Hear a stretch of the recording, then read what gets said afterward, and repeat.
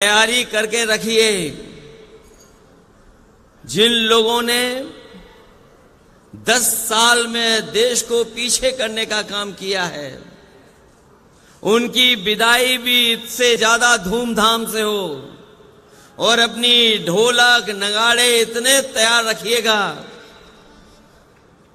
कि जाने वालों की खुशी में ढोल और नगाड़े बंद ना हो। मंच पर बैठे हुए गुरुजी आदरणीय शिबू सोरेन जी, मंच पर उपस्थित पंजाब के मुख्यमंत्री मान जी, पूर्व मुख्यमंत्री आदरणीय फारूक अब्दुल्ला साहब, आदरणीय श्रीमती कल्पना सोरेन जी, आदरणीय श्रीमती सुनीता केजरीवाल जी तेजस्वी यादव जी, दीपांकर भट्टाचार्य जी, आप पार्टी के नेता संजय सिंह जी, श्रीमती प्रियंका चतुर्वेदी जी, विवेक गुप्ता जी, और मंच पर उपस्थित बड़ी संख्या में सभी झारखंड मुक्ति मोर्चा के, इंडिया गठबंधन के सभी नेता, विधायक, सांसद, पूर्व विधायक पूर्व सांसद संगठन के सभी पदाधिकारी और इस ऐतिहासिक सभा में उपस्थित हमारे सभी आदरणीय बुज़ुर्ग, माताएँ, बहनें, नौजवान साथी, पत्रकार बंधुओं। मैं देख रहा हूँ इस चुनाव में भारतीय जनता पार्टी लगातार ये नारा दे रही है कि वो इस बार 400 पार सीटें करने जा रहे हैं। जिनको ये भरोसा है कि 400 पार सीटें वो भारत में और देश में जीत जाएँगे। आखिरकार वो अन्याय क्यों कर रहे हैं? मैं आपसे कह ना सकता हूँ बहुत भरोसे के साथ। ये घबराए हुए लोग हैं। ये हारने नहीं जा रहे हैं। जब से इन्होंने आपके मुख्यमंत्री को जेल भेजा है, दिल्ली के मुख्यमंत्री जी को जेल भेजा है, ये चुनाव हार चुके हैं। ये जो हार चुके लोग हैं, वो अन्याय पर उतर आए हैं। हमने आपने देखा है कि जब मैदान में पहलवान हारने लगता है तो हर हथकंडे अपनाता है। कभी कभी नोचता है, काटता है। कभी कभी बाजी जीतने के लिए और हथकंडे अपनाता है। मैं उन्हें कहना चाहता हूँ भाजपा ये न भूले कि शेर को गिरफ़्तार किया है, लेकिन उनकी दहाड़ नहीं गिरफ़्तार कर पाए हैं। और ये आज यहाँ से जो दहाड़ जा रही है, ये जो आवाज़ जा रही है, ये ऐलान कर रही है कि बदलाव का समय आ गया है। इनके पास जनता के लिए कुछ भी नहीं है। हमारे किसानों को इन्होंने भरोसा दिलाया था कि सत्ता में आएँगे हम किसानों की आय दोगुनी कर देंगे। यहाँ हमारे आदिवासी भाई बहन बैठे हैं। यहाँ किसान भाई गाँव से चल करके आए हैं। ये जानते होंगे जब से भारतीय जनता पार्टी की सरकार आई है, इनकी हालत और खराब हो गई है। आर्थिक स्थिति और खराब हो गई है। जो लोग कहते थे, विश्व गुरु बना देंगे, आज वो 80 करोड़ लोगों को राशन देने के लिए मजबूर हैं।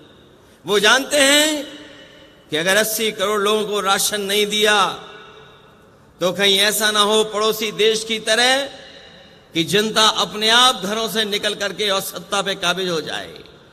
इसी तरह हमारा नौजवान जानता होगा, इन नौजवानों को भरोसा दिलाया कि सत्ता में आएँगे तो दो करोड़ नौकरी देंगे। लेकिन आज पीछे मुड़ करके देखो, दस साल में नौकरी तो दूर इनके हर फैसले ने न केवल नौकरी छीनी है, बल्कि हमारे रोज़गार के अवसर भी खत्म कर दिए हैं। आज हालात ऐसे हैं कि पढ़ने लिखने वाला नौजवान 90 प्रतिशत अब बेरोजगार हो गया, उसके हाथ में नौकरी नहीं है।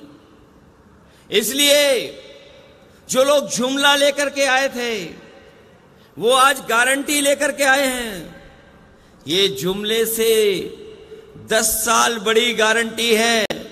मैं उन गारंटी वालों को कहना चाहता हूँ, देश की जनता उनकी गारंटी नहीं चाहती है।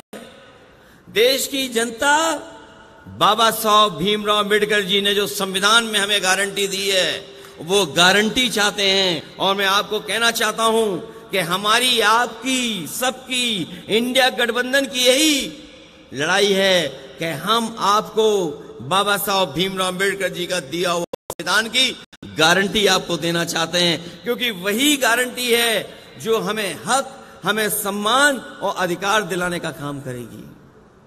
ये लोग भूल जाते हैं कि झारखंड के लोग घबरा जाएँगे। झारखंड के लोगों ने बहुत सारी परिस्थितियाँ देखी हैं। राजनीति में बहुत दबाव के मौके देखे हैं, समय देखा है। लेकिन झारखंड के लोग न कभी घबराए डरे। और जब कभी भी ऐसी सत्ता आई, उन्हें मौका मिला तो ऐसी सत्ता को खाड़ फेंकने का काम भी झारखंड की जनता ने करने का काम किया है। मैं इस मौके पर यह आपसे कहना चाहता हूँ कि जहाँ झारखंड ने बना लिया इनको हटाने का। हम लोग उत्तर प्रदेश से चल करके आए हैं। पहले चरण का चुनाव था, जहाँ पर बहुत भारतीय जनता पार्टी को दावा था कि वो सब सीटें जीत लेंगे। लेकिन जिस तरह से पश्चिम में पहले चरण में मतदान हुआ है, भारतीय जनता पार्टी का सफाया हो गया है। अगर उत्तर प्रदेश सफाया कर सकता है पहले चरण से आखिरी चरण तक। तो झारखंड की जनता क्यों नहीं सफाया करेगी? यहाँ तो अन्याय ज़्यादा हुआ है। आपकी लूट ज़्यादा हुई है। आपको डराने का काम ज़्यादा हुआ है। भाजपा ये न भूले कि ये भगवान बिरसा मुंडे की भूमि है। जो न कभी डरे हैं और न कभी दबे हैं। हमें भरोसा है कि आपका एक एक वोट इनके खिलाफ पड़ेगा। और इनको सत्ता से हटने का काम होगा। मैं अपने तमाम साथियों से कहना चाहता हूँ कि जिस जोश और उत्साह के साथ आप आए हैं, जब वोट पड़े तो उतने ही जोश और उत्साह के साथ आप लोग मतदान करना। क्योंकि भारतीय जनता पार्टी का एक एक फैसला संविधान को खत्म करने का है, इस लोकतंत्र को खत्म करने का है, और कहीं ऐसा ना हो कि अगर हम 24 में चूक गए तो याद रखना ये भारतीय जनता पार्टी के लोग हमारे आपके वोट का भी अधिकार छीन लेंगे। ये अधिकार अगर हमारा वोट का चला गया तो हमें उसी दौर में ये पहुँचा देंगे जिस तरीके से अंग्रेज़ों ने हमें राज किया अंग्रेज़ों ने हमारे ऊपर राज किया था। और हम अपने तमाम झारखंड के लोगों कहना चाहते हैं, दुनिया के जो भी तानाशाह आए हैं, वो लोकतंत्र के और वोट के माध्यम से आए हैं। इसलिए हमें जब वोट डालने का मौका मिले तो हमें सावधान भी रहना है और मतदान भी करना है, क्योंकि इस बार का जो फैसला है, वो हमारा लोकतंत्र को बचाने का है, संविधान को बचाने का है, और आपका ही वोट हेमंत सोरेन जी को बाहर लेकर के आएगा। आपका ही वोट अरविंद केजरीवाल जी को बाहर लेकर के आएगा। इनके साथ धोखा और अन्याय करने का काम सरकार ने किया है। ये सरकार वो है जिसने सबसे ज़्यादा चंदा वसूला। अगर चंदा वसूलने का हिसाब किताब लगाओगे आप तो हिसाब किताब नहीं लगा पाओगे। कभी किसी ने सोचा था कि एक एक हज़ार करोड़ छंदे में पैसा लिया जाएगा 600 करोड़ रुपए छंदे में लिए जाएँगे 500 करोड़ चंदे में लिए जाएँगे। ये भारतीय जनता पार्टी के वो लोग हैं जिन्होंने वैक्सीन वालों को भी नहीं छोड़ा। वैक्सीन आपको लगा और चंदा खुद वसूलिया ये भारतीय जनता पार्टी के वो लोग हैं। और जब से इलेक्ट्रोल बॉन्ड की बात बाहर आ गई है, भारतीय जनता पार्टी के लोग घबराए हुए हैं।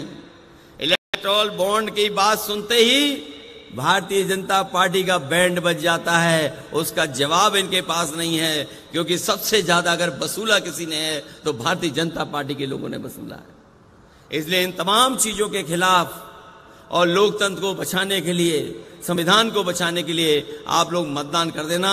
यही अपील, यही निवेदन मैं आप सबसे करने आया हूँ। मैं इस ऐतिहासिक और बहुत बड़ी रैली के लिए, आपको सफल कार्यक्रम के लिए मैं झारखंड मुक्ति मोर्चा और इंडिया गठबंधन के जितने भी साथी हैं, उनको बधाई देता हूँ। साथ ही साथ आई हुई जनता का मैं बहुत आभारी हूँ कि जो पिछले कई घंटों से लगातार हम लोगों की बात सुनकर के ये संकल्प लेकर के जा रहे हैं, जब वोट डालेंगे, संविधान को बचाने के लिए वोट डालेंगे, इन भारतीय जनता पार्टी को हटाने के लिए वोट डालेंगे। आप सबका बहुत बहुत धन्यवाद और बहुत बहुत आभार प्रकट करता हूँ।